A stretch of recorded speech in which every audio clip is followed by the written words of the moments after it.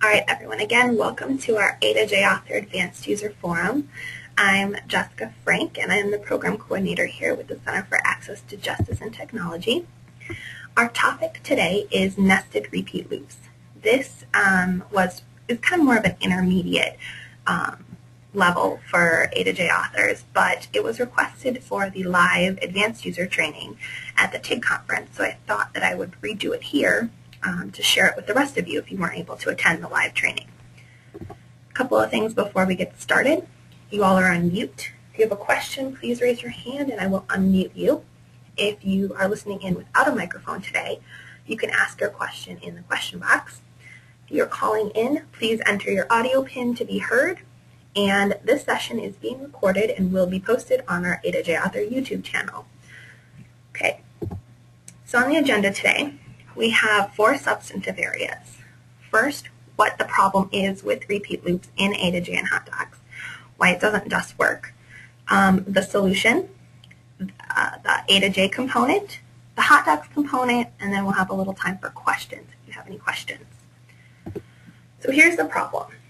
Hot docs uh, tracks answers in a nested repeat dialog with a two-digit or two-level explicit indexing.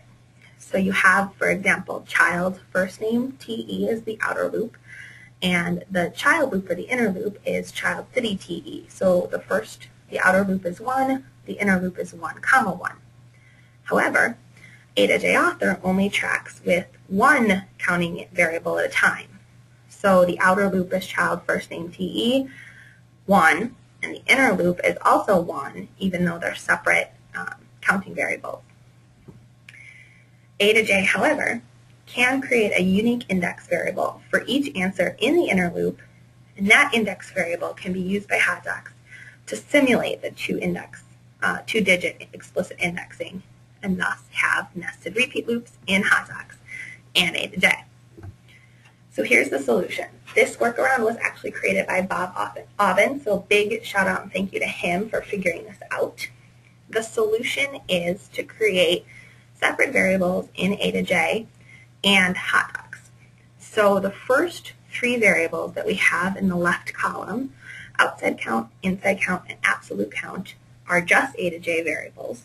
They um, are used in the explicit indexing, in the parsing in hot docs, but they're just A to J variables. Um, they map, they have corresponding hot docs variables.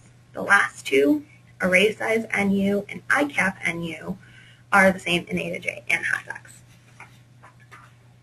So the first variable, outside count, tracks the outside or the parent loop. Inside count, or in hot docs, child counter NU, tracks that inside child loop. Absolute count is the same as explicit index NU in hot docs. That's a unique index for each answer in the child loop. Array size NU is the maximum number of answers in any child loop. And ICAP NU is the total iterations in any given child loop. If any of this is confusing at any time, feel free to stop me. Um, and also know that I will post all of this on the YouTube channel and our A to J author website so that you can go back and look at it later when you're actually doing it. So unlike most A to J guided interviews, like I mentioned, the hot docs variables for the inner or child loop are not going to be used in the A to J guided interview. Instead, we're going to create those three distinct A to J variables and HotDocs will have its own variables for the inner loops. A HotDocs computation then will parse and map the A to J variables to the corresponding HotDocs variables to simulate that explicit indexing. So here's the A to J component. And we'll go through the A to J after I go through the specific parts. So this first question is the jumping off question. It's the question that's not going to be repeated um, but it's that starting point for the outer loop. If you've done repeat loops before, um, not nested ones, but regular repeat loops, you know you have that initial question, the how many question. Um, this is similar to that, that starting off point. The magic here happens in the advanced tab. There's four conditions. The four conditions, the first condition sets, uh, increments um, the outside count to 1 it initializes the outside count. The second condition initializes the inside count. The third condition sets the array size to 10. Here I've set the maximum, the array size again is the maximum number of answers with any, within any given child loop. I've set it to 10. 10 is arbitrary and it's just for demonstration purposes. But in my A to J, I've created a situation where I ask the end user for their child's name, and then I ask them for all the cities that that child has lived in in the last two years. I'm assuming here that 10 is sufficient because most children have not lived in uh, more than 10 cities in two years. However, you know your end users better than we ever could. So you can also have the end user set that array size in an earlier question. Perhaps ask them what is the maximum number of cities your any of your children have lived in in the last two years. They say something like 47. You can set that array size then to whatever their answer is. 10 should probably be sufficient, though, for um, any, of, any of the situations. But you can change it. And the final condition sets the A to J repeat trigger true-false variable to true. This tells HotDocs that the answers are coming from an A to J interview and invokes the computation variable in the HotDocs template. So you'll see it later. This triggers the uh, computation the parsing. This question is the first question in the outer loop. So here I'm asking for the name of their child, and I've used a macro, macro to display the, or, the ordinal. So what is the name of your first child, second child, 32nd child, anything like that. Um, if you're not familiar with macros, we've done a training on that as well. And note here that outside count is in the counting variable. So this tells you that this is the first one, um, and really for my example, the only question in the outer loop. This question also has underlying logic, which we're going to see in this next slide. Here, this logic, the first advanced condition, I'm setting the add inside repeat true false to true. This variable is going to be used by that inner loop in the next question step to create and keep track of the inner loop index for each answer. The second uh, condition is creating, uh, setting the absolute count to outside count times array size plus 1. So here, um, the initial value of the absolute count is going to be outside count, which is 1. We set that in the last question. Array times array size, which is 10. So 1 times 10 is 10 plus 1 is going to be 11. So the initial value of absolute count is 11. Setting absolute count to 10 would work. Um, don't have that plus 1 at the end. However, by setting it to 11, you're making it easier, easier to answer track and troubleshoot later um, when you have the hot docs and the A to J components open together because the first array of questions is going to be, answers will be 11 to 20. The second array will be 21 to 30, um, and so forth. And this makes it easier for you to map where the problem is. So the first array would be um, 11, 12, 13, 14. In HotDocs, it would be 1, comma 1, 1, comma 2, 1, comma 3, and so forth. It just makes it easier for you. In this next step, this is the first of the inner loop iterations. The counting variable here is absolute count, as you can see at the bottom. And in this variable, uh, in this question, we're asking for what is, uh, please enter a city that, whatever they've said is their child's name, has lived in the past two years. And the only variable we're collecting is city. This, however, is the most important question that I think in the um, nested repeat loops because it has two parts. It has the buttons part and it has the advanced part advanced tab part. So let's look at the advanced tab first. There are five conditions here. Um, I'll give you a chance to look real close, but the next screen will blow it up so we can talk a little bit more. So there's a lot going on in this advanced tab. This is that advanced tab broken down and blown up a little bit. So we have five very important conditions.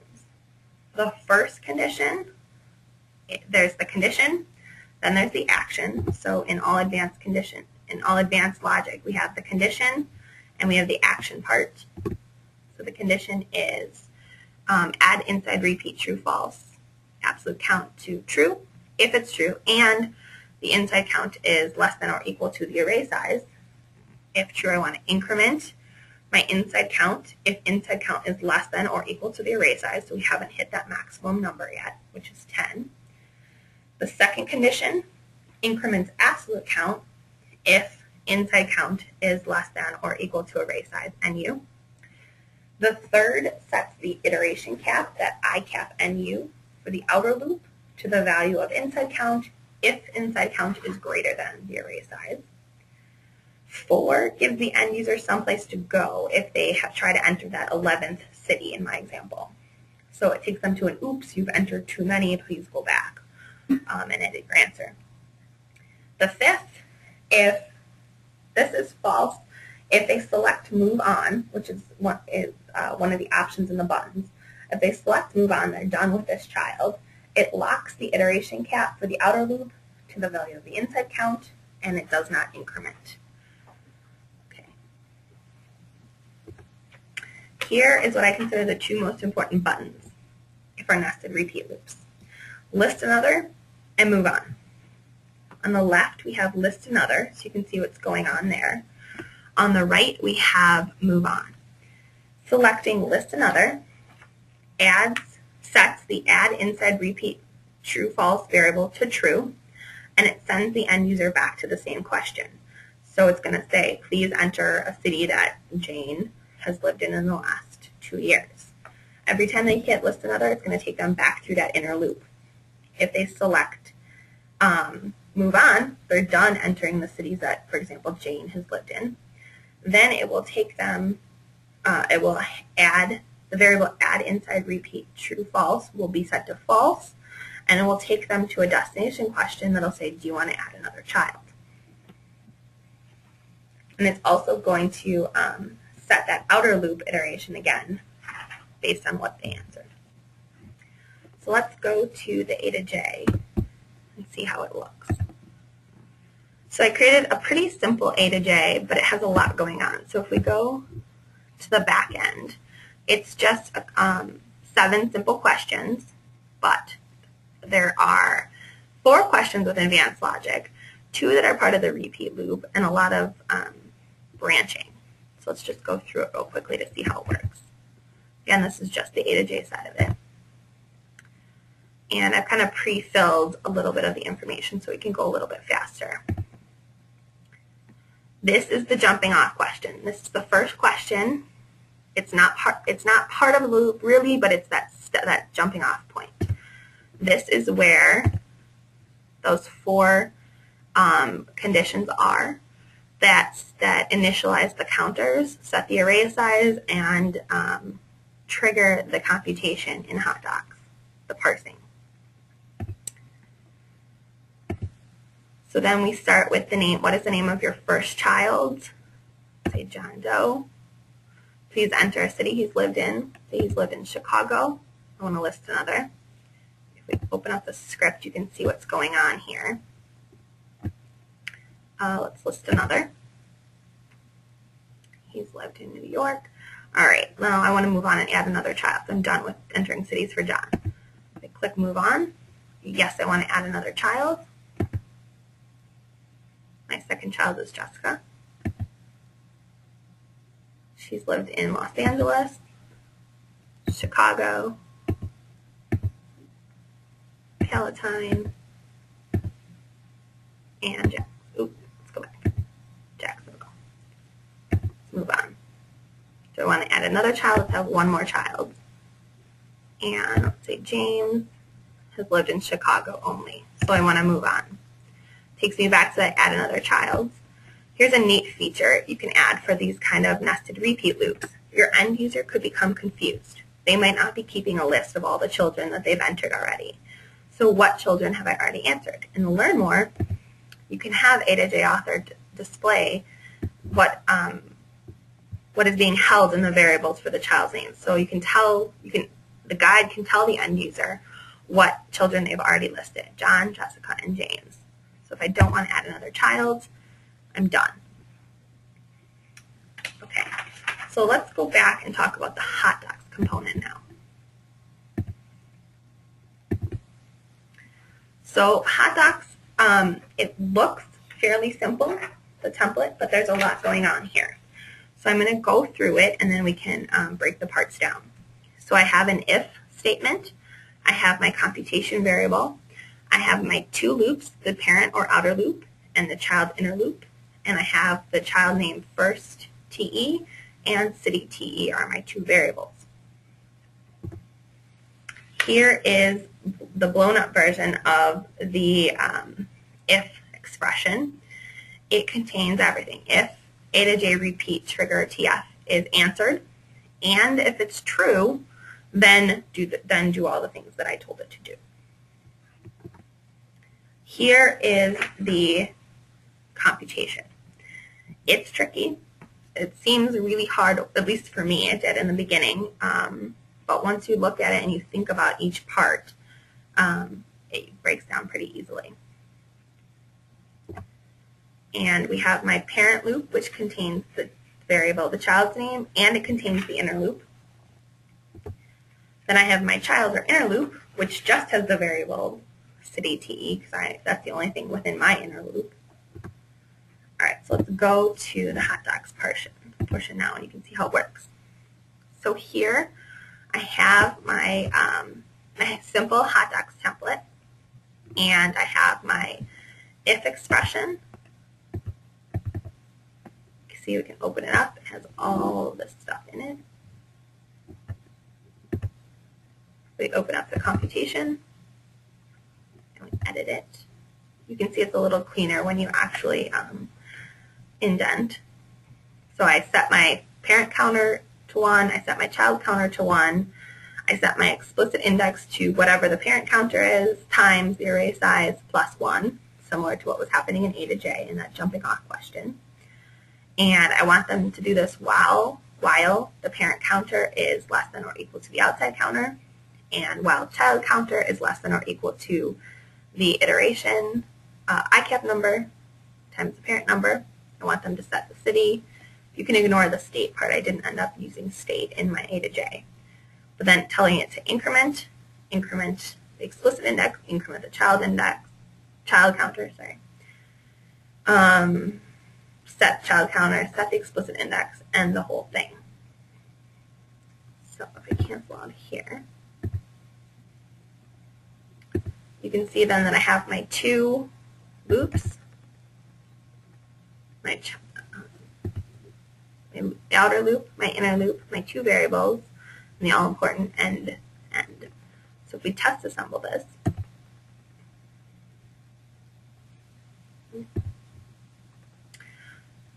see, so I have my January test, only test assembled the one part, sorry. Let's test assemble the whole thing.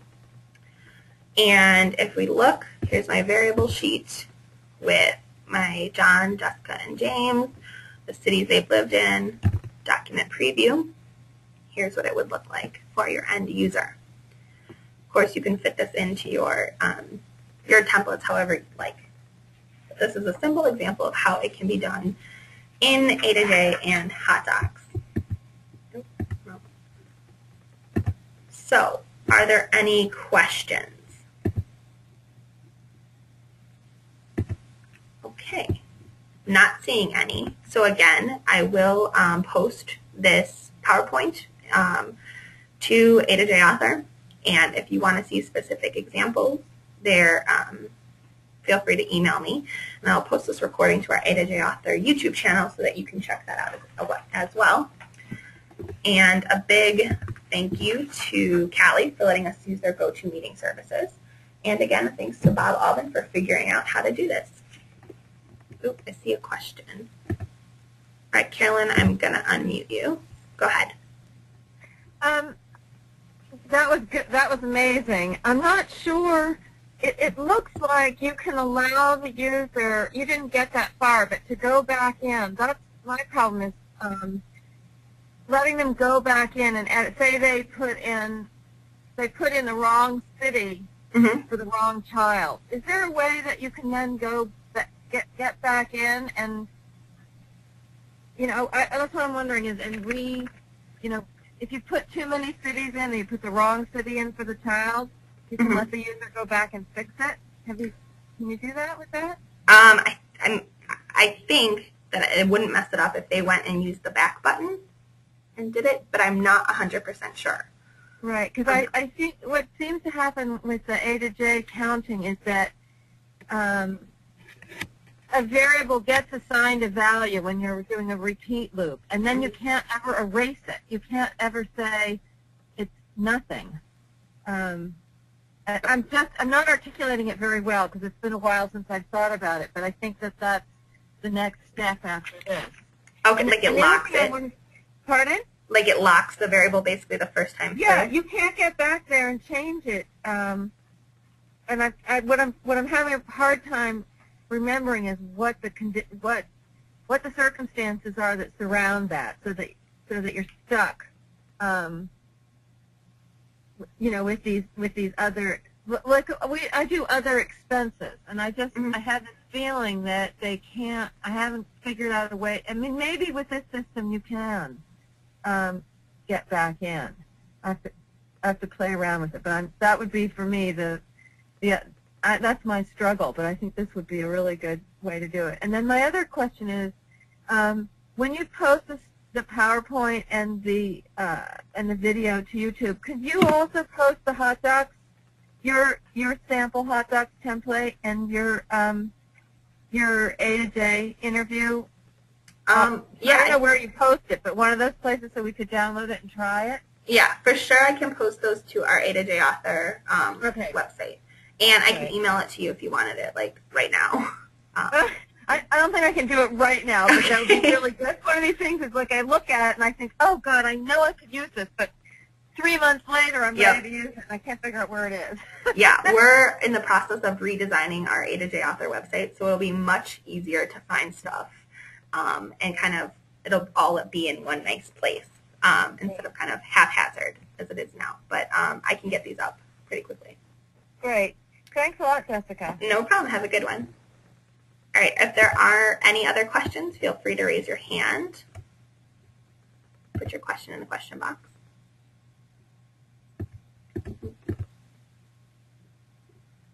Okay, and I will, yeah, one of the questions was about um, posting this. I will post everything up to the A to J author website.